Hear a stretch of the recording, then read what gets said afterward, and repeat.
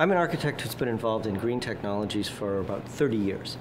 I started out back in the 1970s when the whole movement was really in the hands of a fairly small group of artists who worked principally in New York City, in Los Angeles, and in Italy. And they were approaching the whole uh, realm from the idea uh, that uh, green could be an integral part of a new art movement. Uh, into the 1980s, uh, green started to become about culture. How could culture and architecture, culture and uh, green technologies inform the way architecture was evolving? It was part of a much larger movement called uh, postmodernism at the time. Green was a smaller part of that movement, but it was still an important part. Into the 1990s, it sort of blossomed again through the idea of material technologies. What was recycled material? How could recycled material play a part in uh, what was going on in architecture and design? And uh, since the 1990s, I think it's really sort of blossomed into a marriage of green technologies and um, a lot of the things that, that came before. So you've got now a sort of blending of science and technology and nature and design. Over the last 30 years, I've, I've had all sorts of, uh, of inspiration. Uh, other artists that I've worked with, um, traveling, um, uh, food, uh, buildings, uh, you name it.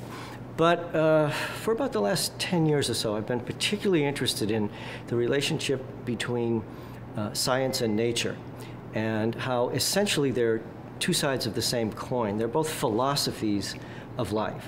And I think one of the most important bridges uh, is uh, design uh, and uh, technology. That design and technology are somehow uh, possible bridges between uh, these different philosophical interpretations of what life is all about. Well, I'm a, I'm a um, an overnight sensation that's been at this for 30 years. Um, what I found now is, while my client base was always varied and international, I'm now getting, I'd say, um, a much broader client base than, I, than I've ever had before. I'm working internationally um, uh, in ways that I never expected. Uh, uh, being asked to do uh, new housing developments, new models for housing, um, uh, uh, new technological innovations, um, and sort of marrying advanced technology to architecture and design.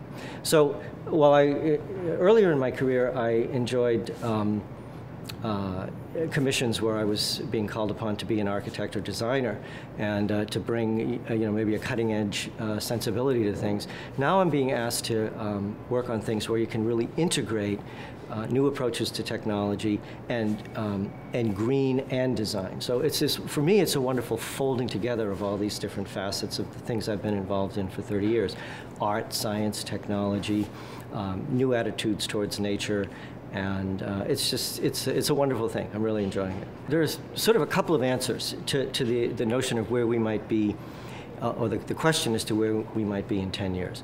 On the one hand, there's the very serious issue that a lot of uh, scientists tell us that we have about 10 years to really grapple with the major environmental problems that we have on the planet, or we're going to reach a point of no return. And there are, you know, enormously serious consequences. You're talking about uh, the failure of global systems and mass starvation, uh, ir irreversible species decline, and all the sort of bad news things. On the other hand, um, clearly, uh, in many, if not all, but certainly in many of the cases, we have in hand now all of the technological resources, the scientific insight, uh, and the information that we need to proceed to fix this stuff. So it's my sincere hope and my daily endeavor um, that we move forward with the, uh, the things that we have in hand and we solve the problems. And that we're you know, going to be looking at a, um, a renewed sense of optimism, renewed sense of possibility, and we're going to be able to continue as an industrial um, society. I approach the whole green issue as follows. About 90% of the problem is energy impacts. Um, so when you're looking at anything, when you're looking at point of manufacture, uh, when you're looking at embodied energy, when you're looking at operating costs, when you're looking at short-term, long-term impacts, the longevity of the product in the market, and so forth, and so on, uh, really the major issue is energy impacts because it's, it's the profligate waste of energy that's creating so many of our problems, certainly relating to, to global warming, and, and now we're seeing food riots because, you know, energy um, has, is being displaced from the production of food into uh, uh, feeding uh, rapidly expanding economies in Asia and so forth and so on. Now, the, the underlying uh, kind of factoid or reality uh, here is that 90% of the energy that we consume today is wasted, fully 90% of it.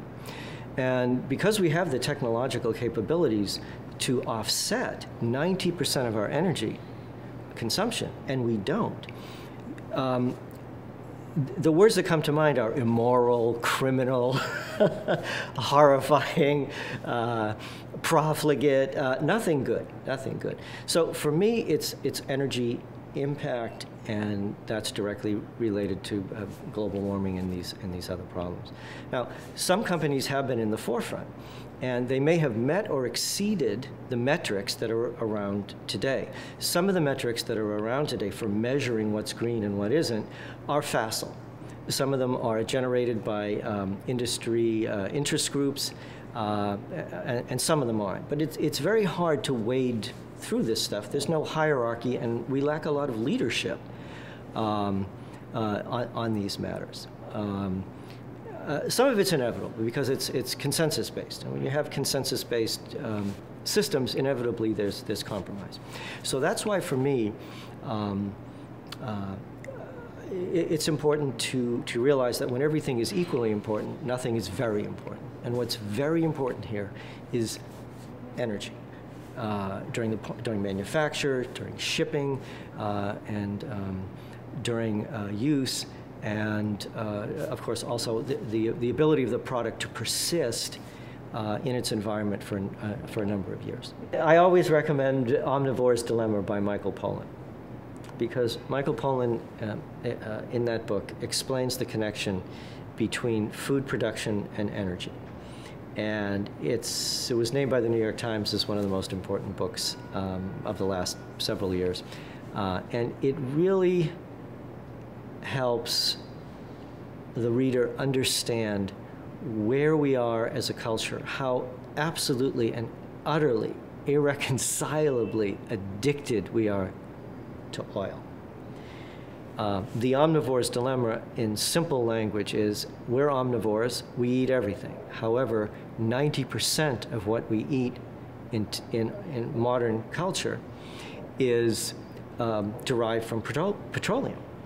Uh, beef is derived from petroleum. Corn is derived from petroleum. Soybeans are derived from pet petroleum.